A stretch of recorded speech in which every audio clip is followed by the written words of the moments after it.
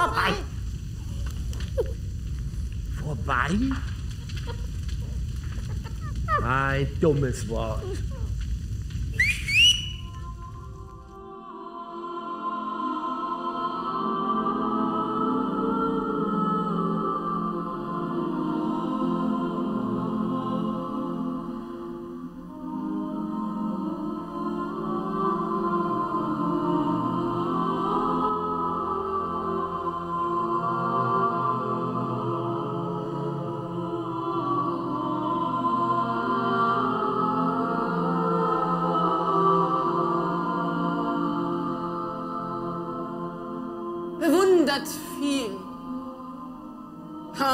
Viel gescholten.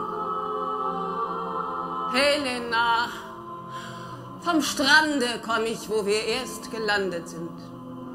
Noch immer trunken von des Gewoges regsamen Geschaukel, das vom phrygischen Blachgefild uns her auf sträubig hohem Rücken durch Poseidons Gunst und Euros Kraft in vaterländische Buchten trug. Dort unten freut nun der König Menelaos der Rückkehr samt den tapfersten seiner Krieger sich. Du aber, heiße mich willkommen, hohes Haus, das Tyndarios, mein Vater, nah dem Hange sich, von Pallas Hügel wiederkehrend aufgebaut. Und als ich hier mit Kytanestra schwesterlich mit Castor auch und Pollux fröhlich spielend wuchs, vor allen Häusern Spartas herrlich ausgeschmückt. Gegrüßet seid mir, der Erden Pforte Flügel ihr, durch euer gastlich ladendes weit eröffnen einst, geschah's das mir, erwählt aus vielen, Menelaos in Bräutigams Gestalt entgegenleuchtete. Eröffnet mir sie wieder, dass ich ein Eilgebot des Königs treu erfülle, wie der Gattin ziemt. Lasst mich hinein und alles bleibe hinter mir, was mich umstürmte bis hierher verhängnisvoll. Denn seit ich diese Schwelle sorgenlos verließ, Kytherens Tempel besuchend heiliger Pflicht gemäß, mich aber dort ein Räuber greff, der phrygische, ist viel geschehen. Was die Menschen weit und breit so gern erzählen, aber der nicht gerne hört, von dem die Sage wachsen, sich zum Märchen spann. Verschmähe nicht O herrliche Frau, des höchsten Gutes Ehrenbesitz. Denn das größte Glück ist dir einzig beschert, der Schönheit Ruhm, der vor allen sich hebt. Dem Helden tönt sein Name voran. Drum schreitet er stolz. Doch beugt zugleich hartnäckigster Mann vor der allbezwingenden Schöne den Sinn. Nun gut. Mit meinem Gatten bin ich hergeschifft und nun von ihm zu seiner Stadt vorausgesandt. Doch welchen Sinn er hegen mag, errate ich nicht. Komm ich als Gattin? Komm ich eine Königin? Komme ich ein Opfer für des Fürsten bitteren Schmerz und für der Griechen lang erduldetes Missgeschick? Erobert bin ich ob gefangen, weiß ich nicht. Denn Ruf und Schicksal bestimmten für wahr die Unsterblichen zweideutig mir. Der Schöngestalt bedenkliche Begleiter, die an dieser Schwelle mir sogar mit düster drohender Gegenwart zur Seite stehen. Denn schon im hohlen Schiffe blickte mich der Gemahl nur selten an auch sprach er kein erquickliches Wort, als wenn er Unheil senne, saß er gegen mir. Nun aber, als des Eurotas tiefem Buchtgestad hinangefahren der vorderen Schiffe Schnäbel kaum das Land begrüßten, sprach er, wie vom Gott bewegt. Hier steigen meine Krieger nach der Ordnung aus, Ich mustere sie am Strand des Meeres hingereiht, du aber ziehe weiter, ziehe des heiligen Eurotas fruchtbegabtem Ufer immer auf, die Rosse lenkend auf der feuchten Wiese Schmuck, bis das zur schönen Ebene du gelangen magst, wo Lakedämon einst ein fruchtbar weites Feld von ernsten Bergen nah umgeben angebaut. Betrete dann das hochgetürmte Fürstenhaus, mustere mir die Mägde, die ich dort zurückgelassen, samt der klugen alten Schaffnerin, die zeige dir der Schätze reiche Sammlung vor, wie sie dein Vater hinterließ und die ich selbst in Krieg und Frieden stets vermehrend aufgehäuft. Du findest alles nach der Ordnung stehen, denn das ist des Fürsten Vorrecht, dass er alles treu in seinem Hause wiederkehrend finde, noch an seinem Platze jedes, wie er es dort verließ, der nichts zu ändern hat für sich der Knecht Gewalt. Erquicke nun am herrlichen Schatz, dem stets vermehrten Augen und Brust. Denn der Kette Zier, der Krone Geschmuck, da ruhen sie stolz und sie dünken sich was. Doch tritt nur ein und fordere sie auf, sie rüsten sich schnell. Mich freue zu sehen, Schönheit im Kampf gegen Gold und Perlen und Edelgestein. So, dann erfolgte des Herrn ferneres Herrscherwort. Wenn du nun alles nach der Ordnung durchgesehen, dann nimm so manchen Dreifuß, als du nötig glaubst, und mancherlei Gefäße, die der Opferer sich zur Hand verlangt, vollziehen teiligen Festgebrauch. Die Kessel, auch die Schalen wie das flache Rund. Das reinste Wasser aus der heiligen Quelle sei in hohen Krügen, Ferner auch das trockene Holz der Flammen schnell empfänglich halte da bereit. Ein wohlgeschliffenes Messer. Messer fehlen nicht zuletzt. Doch alles andere gebe ich deiner Sorge hin, so sprach er, mich zum Scheiden drängend, aber nichts lebendigen Atems zeichnete mir der Ordnende, dass er die Olympia zu verehren schlachten will. Bedenklich ist es.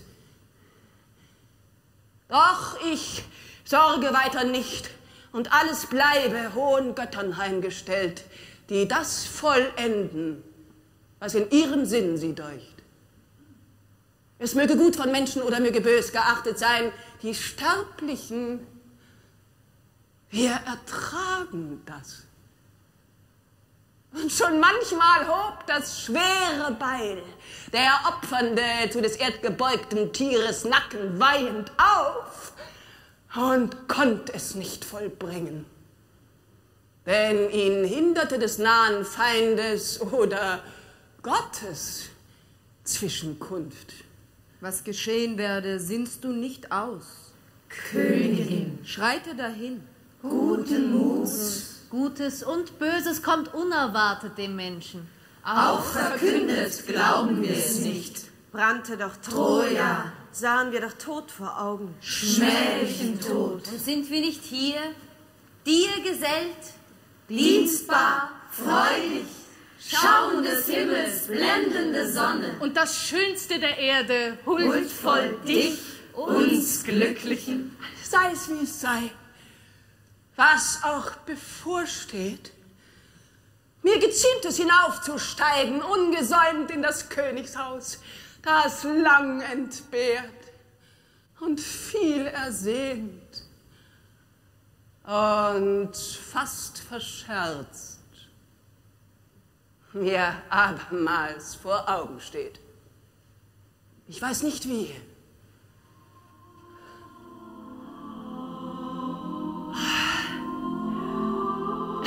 Die Füße tragen mich so mutig nicht empor.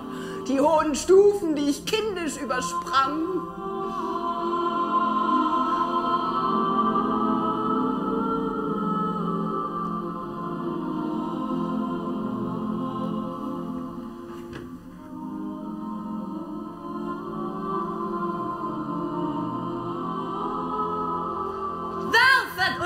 Schwestern, ihr traurig Gefangenen, alle Schmerzen des Weite, teilet der Herrin Glück, teilet Helenas Glück. Welche zu Vaterhauses herd, zwar mit spät zurückkehrendem, aber mit desto festerem Fuße freudig herannaht. Reiset die Heiligen, glücklich herstellenden und heimführenden Götter.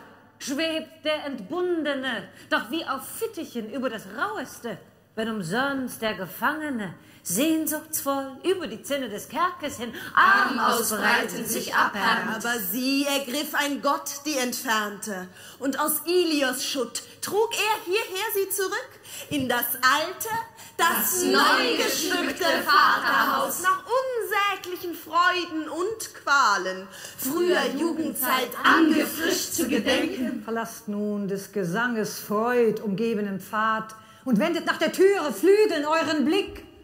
Was sehe ich, Schwestern? Kehret nicht die Königin mit heftigen Schrittes Regung wieder zu uns her? Was ist des große Königin? Was konnte dir in deines Hauses Hallen statt der deinen Gruß erschütterndes begegnen? Du verbirgst es nicht, denn Widerwillen sehe ich an der Stirne dir, ein edles Zürnen, das mit Überraschung kämpft. Der Tochter Zeus geziemet nicht gemeine Furcht, und flüchtig leise Schreckenshand berührt sie nicht.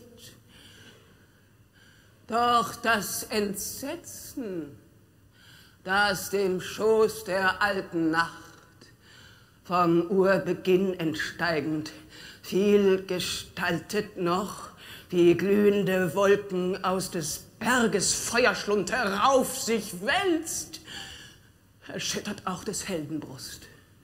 So haben heute grauenvoll die Stygischen ins Haus den Eintritt mir bezeichnet, dass ich gern von oft betretener, lang ersehnter Schwelle mich entlassenem Gaste gleich entfernen scheiden mag. Nein! Gewichen bin ich her ans Licht. Und sollt ihr weiter nicht mich treiben, Mächte, wer ihr seid.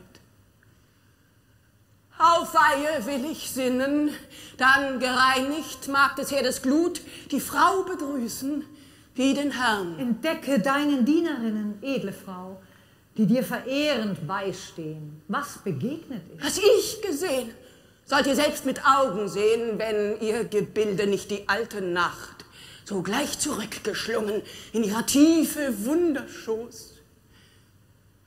Doch, dass ihr's wisst, sag ich es euch mit Worten an.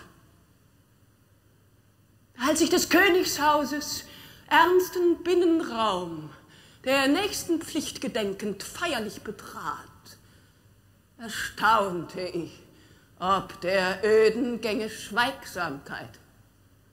Nicht Schall der emsig Wandelnden begegnete dem Ohr, nicht rasch geschäftiges Eiligtun dem Blick, und keine Magd erschien mir, keine Schaffnerin, die jeden fremden freundlich sonst begrüßenden, als aber dem Schoße des Herdes ich mich genaht, da sah ich bei verglommener Asche lauem Rest am Boden sitzen, welch verhülltes, großes Weib, der Schlafenden nicht vergleichbar wohl der Sinnenden.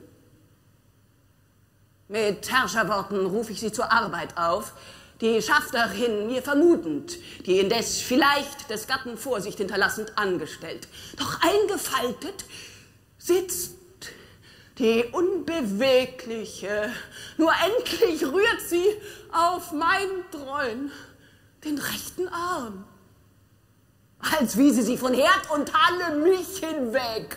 Ich wende zürnend mich ab von ihr, eile gleich den Stufen zu, worauf empor der Thalamus geschmückt sich hebt, und nah daran das Schatzgemach allein das Wunder reißt sich schnell vom Boden auf, gebieterisch mir den Weg vertretend, zeigt es sich. In hagerer Größe, hohlen, blutig, trüben Blicks, seltsamer Bildung, fürs Auge und Geist verwirrt.